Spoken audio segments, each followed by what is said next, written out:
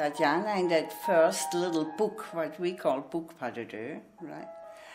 Uh, she's always reading uh, her book. So she comes in with that book and he says, Oh, let me see this book. No, and he went and says, Oh, God, you know, it's a young girl's kind of, uh-huh. thank you very much. But in this uh, she fell in love with him, right? So uh, for him, it was just walking in the garden with a young girl. Yeah, no, absolutely not interested. So that whole development starts there. This is why the book pas de deux is very delicate and very difficult. Although not really technically, yeah, few arabesque periods for the boys, right? Double tours. But the, the essence of it is that he is which is himself. He, he, not ignoring her, but it doesn't really, she doesn't exist for him.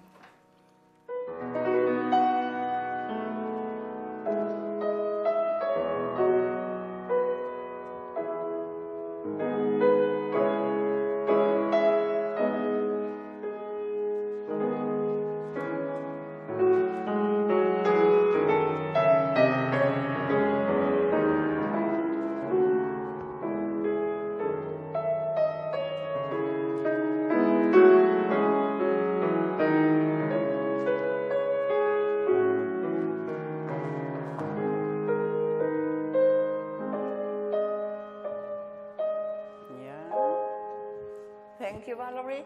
So the first time, Maria, you could go a little more uh, easy. You know, when he um, he finished, um, uh, Roberto, you can when, you finish, finish and then say, "Oh, come," right? Rather than together. Voila. No, finish your ba, and then you say, "Oh, come," right? Oh, that's much better. Voila. And then uh, Maria, you go up. Very easy first time, right? Then he goes a second time, and second time a little more. Voila. That was nice. The, the port de bras after you finish. Lovely. Good. Uh-huh. And from here, he has forgotten already. So he puts her down without looking at her. Right? So let's continue there where we are, which goes now into this.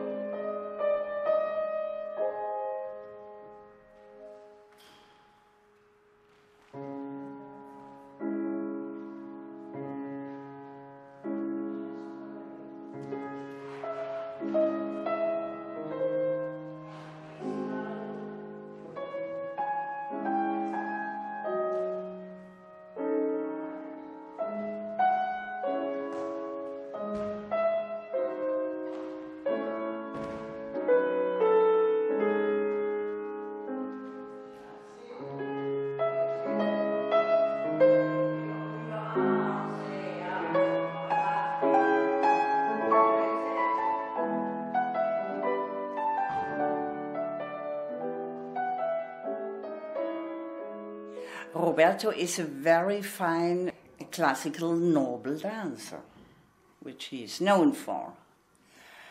Um, what he increased during the rehearsals of Onegin was uh, the drama and, um, and the expression of each scene, which at the beginning was not all there, but during the work, it was fantastic to watch how he developed in it. Now it gets a bit more lively. Yeah, a bit. Voila.